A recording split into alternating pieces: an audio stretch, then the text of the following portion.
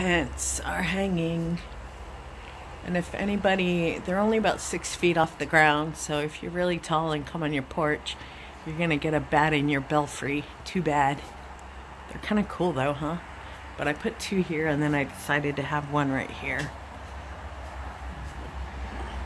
And I just have them hanging up with some wire. I love my baddies. And this is, um, I put up eye hooks last year on there and there. So I finally found my spool of wire that I was like, I didn't want to cut new wire because I'm like, I know I have it somewhere in my Halloween shit. But uh, yeah, so I just string the wire and then hook them onto here. But I like them. I think they're cool.